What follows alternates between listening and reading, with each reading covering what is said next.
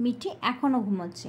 মানে সকাল সকাল ও পাঁচটার দিকে একটু ওঠে দেন একটু খাওয়া দাওয়া করে নিয়ে আবারও ঘুমো দেয়।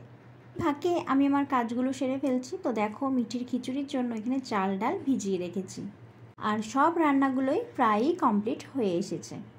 মিঠির খিচুড়িতে দেওয়ার জন্য কিছু সবজি এখানে আমি কেটে রেখেছি। আজকের ব্রেকফাস্টে রয়েছে এরকম ডিম সিদ্ধ আর ইডলি।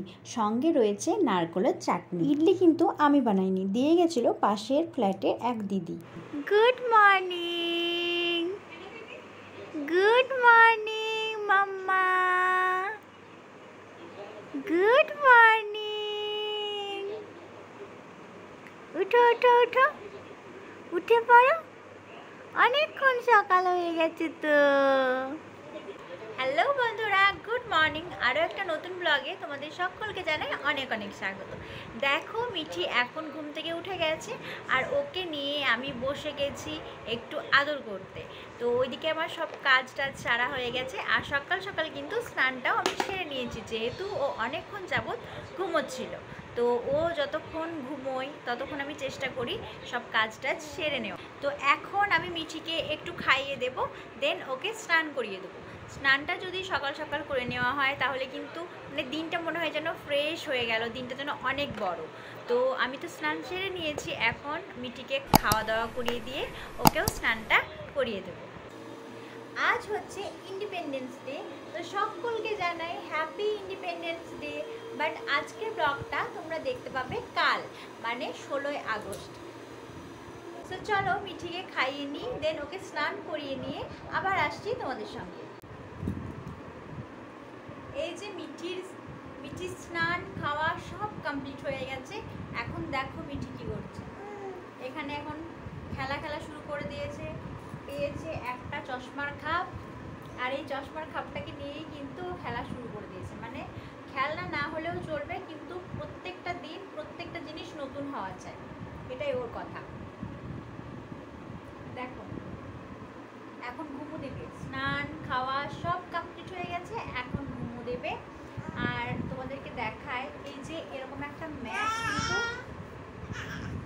এই যে দেখো মিঠির পাপা, মিঠির জন্য এরকম একটা ম্যাট নিয়ে এসেছে।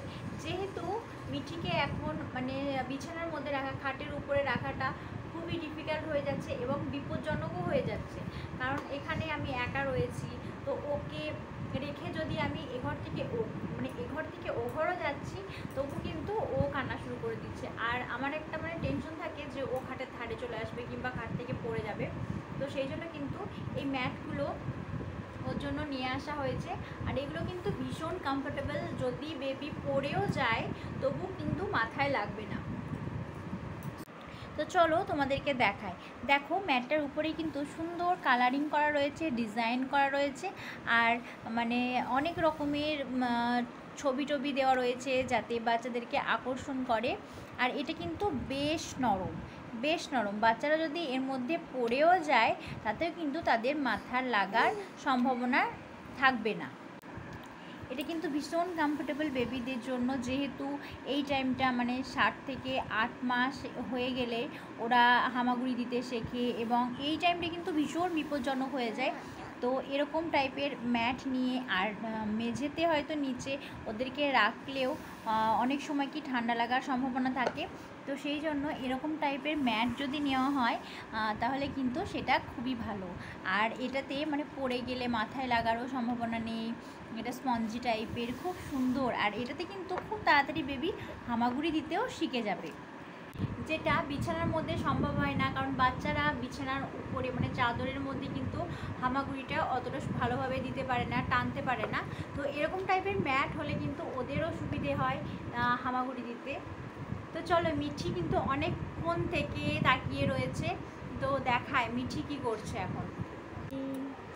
এই যে, মিঠি এখন এই যে এই খেলনাটা নিয়ে মানে এই চশমার বক্সটাকে নিয়ে ভীষণ বিজি রয়েছে।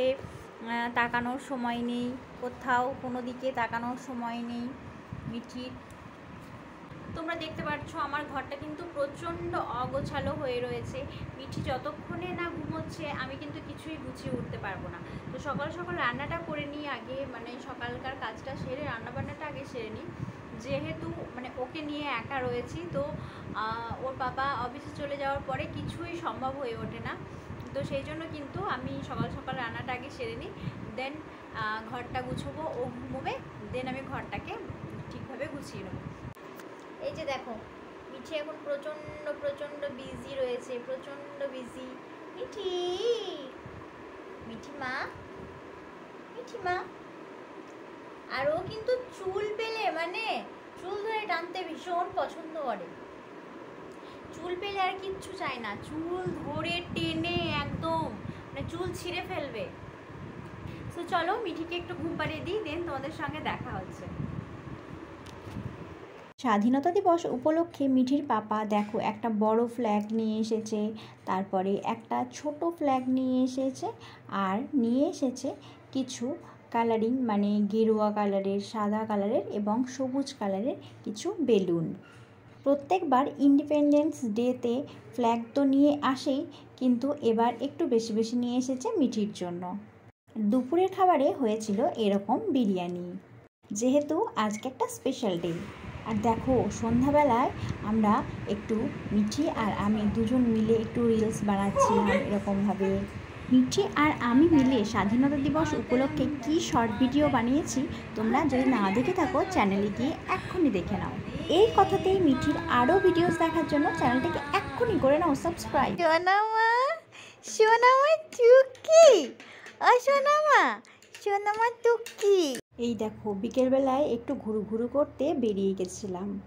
দেখছ কি অবস্থা? হেয়ার ব্যান্ডটাকে পরিয়ে দিয়েছিলাম, হেয়ার ব্যান্ডটাকে খুলে নিয়ে হাতে ধরে বসে আছে। আজকের ভিডিওটা এখানেই শেষ করছি এবং আরও নতুন নতুন ভিডিওস এবং স্পেশালি মিঠের ভিডিওস দেখার জন্য এক্ষুনি চ্যানেলটাকে করে নাও সাবস্ক্রাইব